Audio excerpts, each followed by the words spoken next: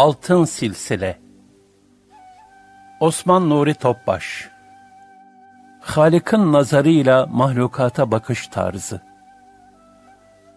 Arifler Sultanı Bayezid-i Bistami Hazretleri rahmetullahi aleyh, din kardeşlerine saygısızlık etmenin ve onları hor görmenin, insanın manevi hayatına çok büyük zararlar verdiğini ifade eder ve şöyle buyururdu. Halka avam nazarıyla bakan, yani onları hor ve hakir gören kişi, onlardan nefret eder. Halik'in nazarıyla bakansa, onlara merhamet eder. Bir kişi Bayezid-i Bistami Hazretlerine gelip, bu makamı neyle elde ettin diye sormuştu. Hazret şu hikmetli cevabı verdi. Şu makam iddiasını bırak. Lakin Cenab-ı Hak bana şu sekiz şeyi ikram etti. Bir, kendimi gerilerde, halkı ise benden önde gördüm. Tevazu. İki, onun kullarına olan şefkatimden ötürü hepsinin yerine cehennemde yanmaya razı oldum. Sonsuz bir şefkat. 3. Hayatta hedefim daima bir müminin gönlünü ferahlandırmak oldu. Diğer yamlık, İsar, din kardeşini kendine tercih etme. 4 bugünden yarına hiçbir şey saklamadım. İnfak, cömertlik, tevekkül. 5.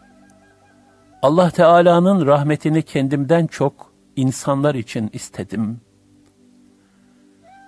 Cenab-ı Hakk'ın Rahman sıfatının kulundaki zirve tecellisi. 6. Müminleri sevindirmek, ve gönüllerindeki gamı gidermek için bütün gücümle gayret ettim.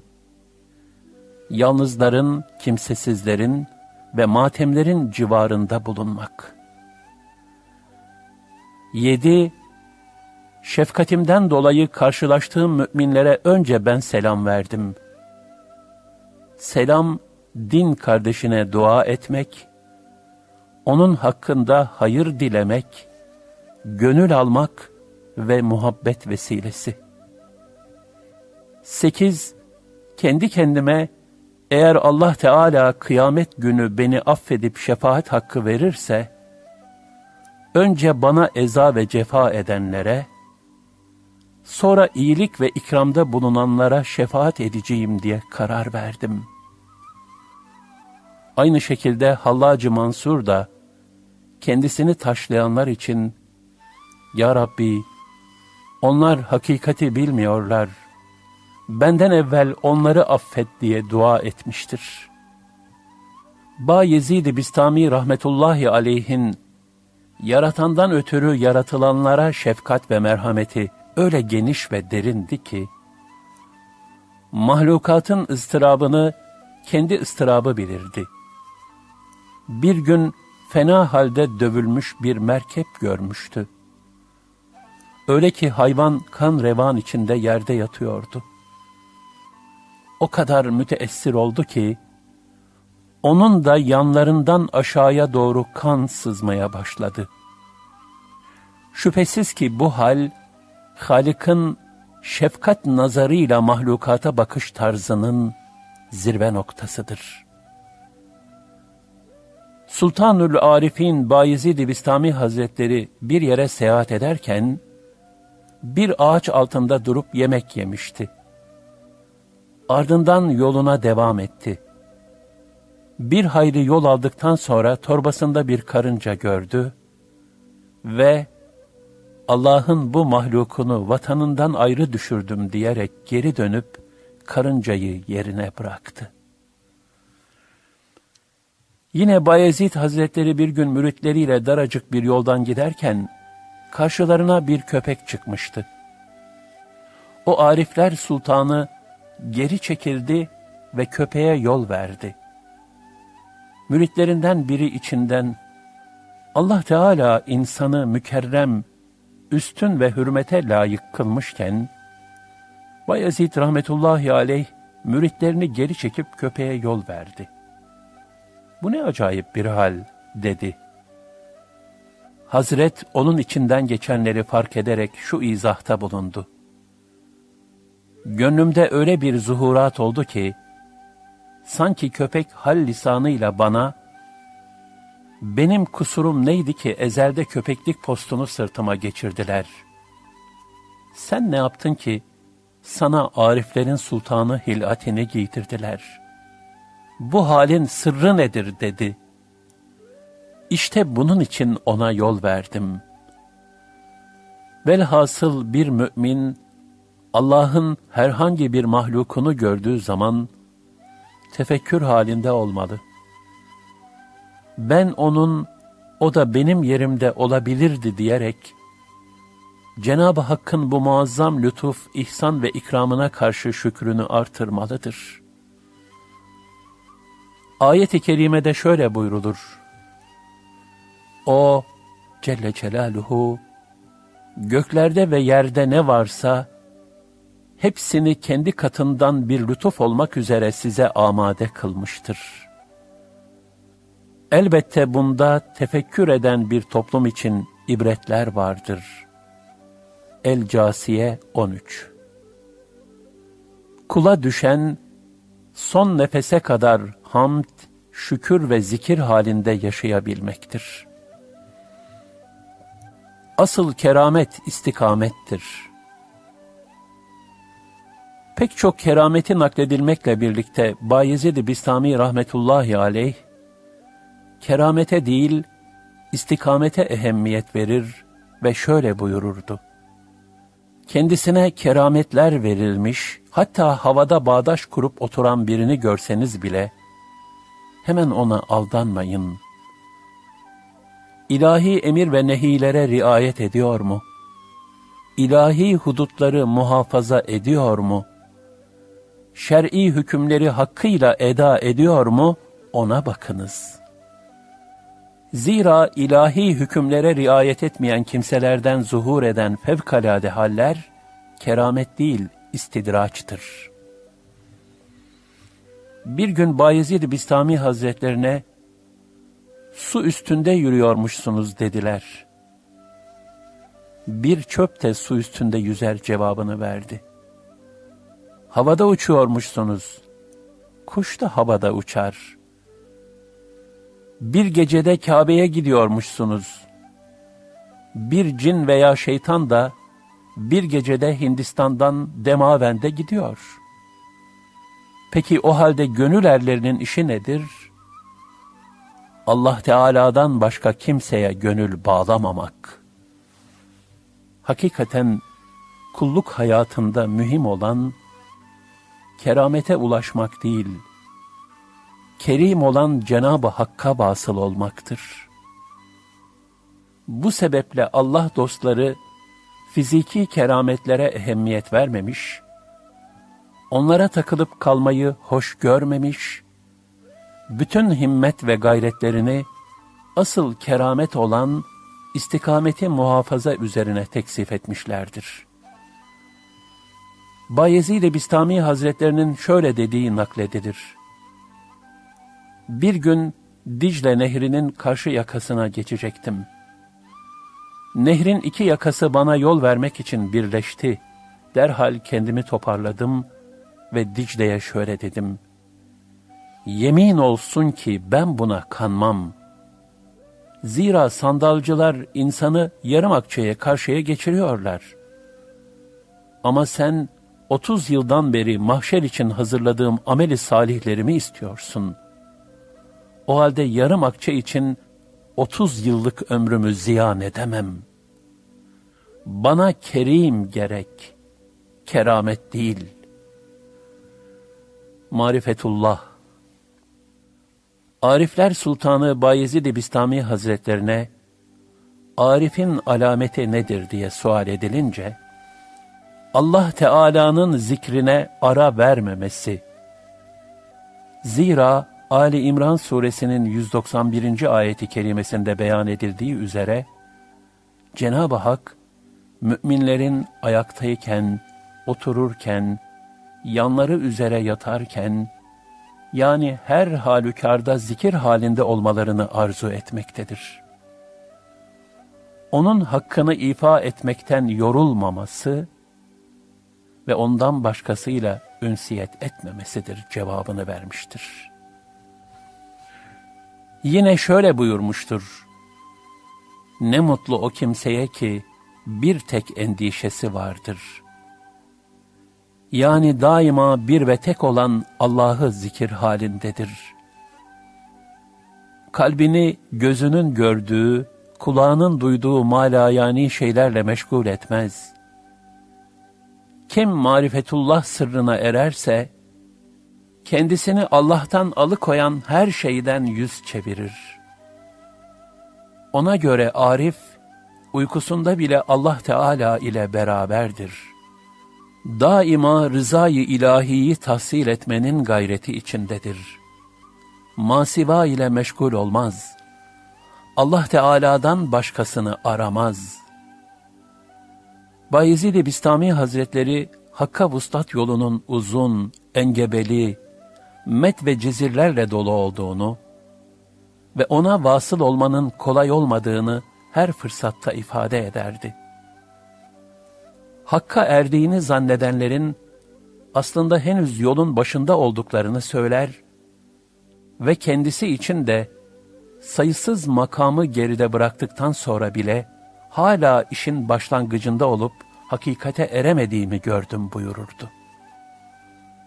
Muhabbetullah Bayezid-i Bistami Hazretleri ilahi muhabbet deryasına dalmış büyük bir hak aşığıydı.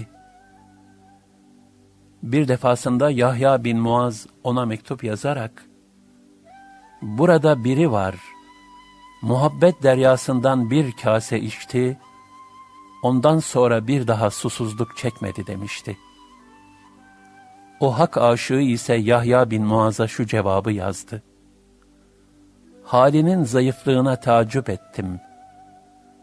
Burada biri var, bütün kainatın denizlerini yudumladığı halde, hala aman su daha yok mu diyor. Kişi vardır, marifetullah yolundaki susuzluğu bir bardak suyla gider. Kişi vardır, bu yolda deryaları içer de yine susuzdur. Bu hal, kulun manevi istiabını ortaya koymaktadır. Bayezid-i Bistami Hazretleri bir gün, bütün insanlar hesaptan kaçarlar.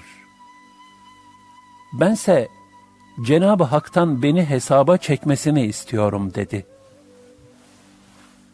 Kendisine niçin diye sorulunca şu muhteşem cevabı verdi. Belki Cenab-ı Hak hesap esnasında bana ''Ey kulum'' diye hitap eder, ben de ''Lebbeyk, buyur ya Rabbi'' derim. Onun bana ''Ey kulum'' buyurması, benim için dünya ve içindekilerden daha sevimlidir. Sonra bana dilediğini yapsın. Allah aşıklarının halini şöyle tarif ederdi. Cenab-ı Hakk'ın bazı has kulları vardır ki, eğer cennette onları cemalinden birazcık mahrum bırakacak olsa, cehennemliklerin azaptan kurtulmak için Allah Teala'ya yalvardıkları gibi, onlar da bu mahrumiyetten kurtulmak için yalvarırlar. Cenab-ı Hakk'a şu münacatta bulunmuştur. İlahi, benim sana olan muhabbetime şaşmıyorum. Zira ben hakir bir kulum. Ben asıl senin beni kulun olarak sevmene şaşıyorum. Çünkü sen yüce bir Rab olduğun halde zelil bir kulu seviyorsun. Bayezid-i Bistami Hazretleri ilahi muhabbet ve tazimini ifade sadedinde de şöyle buyurmuştur. 30 senedir devam ettiğim bir adetim vardır. Ne zaman Cenab-ı Hakk'ı zikretmek istesem, onun zikrini tazim için ağzımı ve dilimi iyice yıkarım. Cenab-ı Hakk'ın zikrine gösterilen tazimin Allah katındaki kıymet ve faziletine dair şöyle bir hadise de nakledilir. Büyük velilerden İbrahim bin Ethem Hazretleri, bir ayyaşın pis kokulu ve bulaşık ağzını yıkamıştı. Bunun için yaptığını soranlara da, eğer Yüce Allah'ın adını zikretmek için yaratılan dili ve ağzı bulaşık olarak bıraksaydım, hürmetsizlik olurdu demişti. Sarhoş ayıldığında ona, Horasan zahidi İbrahim bin Ethem senin ağzını yıkadı dediler. Bu durumdan mahcup olan Ayyaş'ın gönlü de uyandı ve öyleyse ben artık tövbe ettim dedi. Bu tevbeye vesile olan İbrahim bin Ethem Hazretlerine rüyasında hak katından şöyle nida geldi. Sen bizim için onun ağzını yıkadın, biz de senin için onun kalbini yıkadık. On şey Bayezid-i Bistami rahmetullahi aleyh şöyle buyurmuştur. Şu on şey her müminin vazifesidir. 1. Farzları eda, nafilelere gayret. 2. Haramlardan ve şüphelilerden kaçınmak. 3. Allah için tevazu göstermek. 4 din kardeşlerine bağır olmayıp yar olmak, yani din kardeşlerine yük olmayıp, bilakis onların yüklerini hafifletmek. 5. İyi kötü herkese karşı dürüst davranmak, nasihat etmek, güzel bir İslam karakteri sergilemek. 6. Allah Teala'dan kendisi ve ümmeti Muhammed için mağfiret talep etmek. 7. Her hususta Allah Teala'nın rızasını istemek. Cenab-ı Hak'tan niyetlerimizi de, amellerimizi de rızasıyla telif etmesini niyaz etmek. 8. Öfkeyi, kibri ve haddi aşmayı terk etmek. 9. Tartışma ve kabalığı bırakıp, nazik ve zarif bir mümin olmak. 10. Kendi kendine, ölüme hazırlan diye nasihat etmek.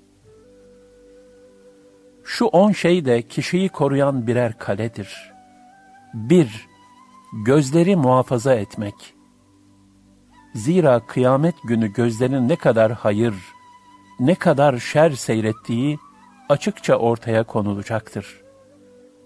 Cenab-ı Hak buyurur, Nihayet oraya geldikleri zaman, kulakları, gözleri ve derileri, işledikleri şeye karşı onların aleyhine şahitlik edecektir. Fussilet 20 2. Dili zikre alıştırmak. 3. Nefs muhasebesi yapmak. Hesaba çekilmeden evvel kendinizi hesaba çekiniz.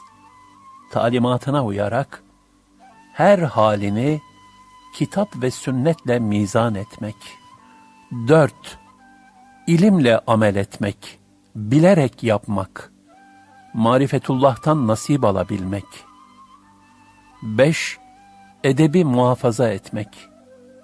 Zira Mevlana Hazretleri buyurur, Aklım kalbime iman nedir diye sordu. Kalbimse aklımın kulağına eğilerek, iman edepten ibarettir dedi. 6. Bedeni lüzumsuz dünya meşguliyetlerinden uzak tutmak. 7. Zaman zaman yalnız kalıp, ilahi azamet ve kudret akışlarının tefekküründe derinleşmek. 8. Nefs mücahedesinde bulunmak.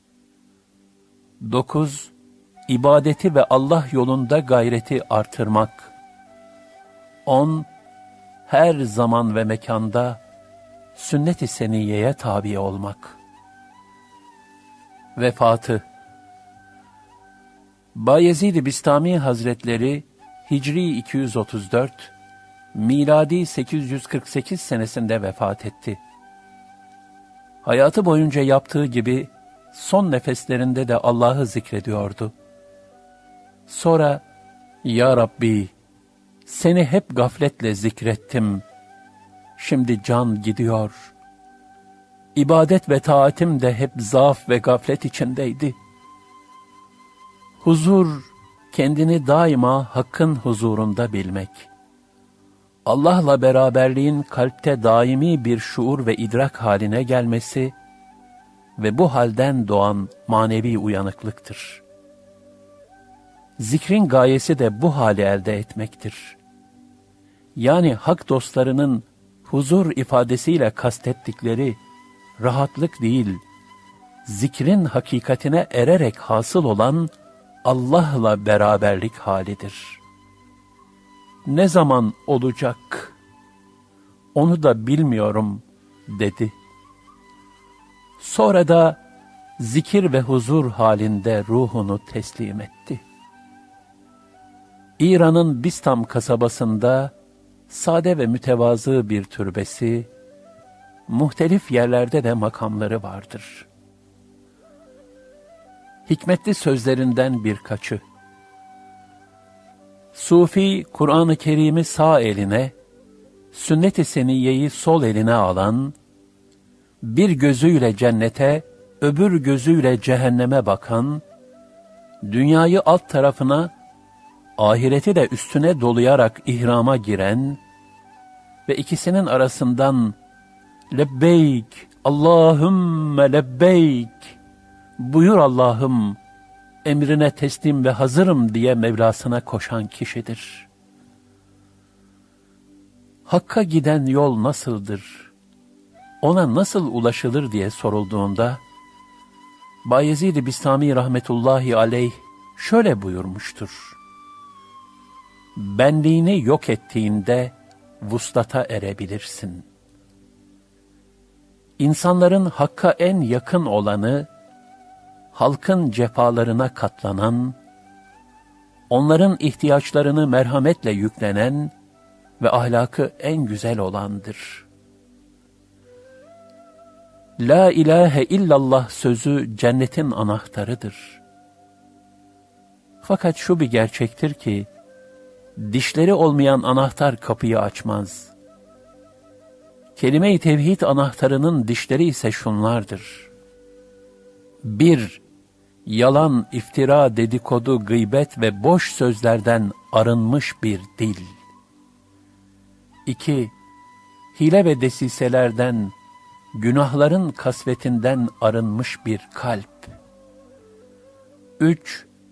Haram ve şüpheli şeylerden temizlenmiş bir mide. 4. Gurur, kibir, gösteriş gibi nefsani arzulardan ve bid'atlerden arındırılmış ameli salihler. Çok zikir, adedi fazla olan değil, gafletten sakınarak ve huzurla yapılan zikirdir. Allah'ın veli kullarını sev, sevgini belli et ve kendini onlara sevdir ki, onlar da seni sevsinler.'' Allah Teala her gün ve her gece evliyasının kalbine yetmiş kez nazar eder. Ola ki bir velisinin kalbinde senin ismine de nazar eder de, seni sever ve günahlarını affeder. Tasavvuf, nefsani arzulardan temizlenmek, kalbi Cenab-ı Hakk'a rahmetmek, bütün güzel vasıflarla ahlaklanmak, ve daima Allah'ın rızası istikametinde olabilmektir. Kalbimi semaya götürdüler. Bütün melekutun çevresini dolaşıp geri döndü. Kalbime, oradan ne getirdin diye sordum. Muhabbet ve rıza. Zira orada bunların revaç bulduğunu müşahede ettim dedi.''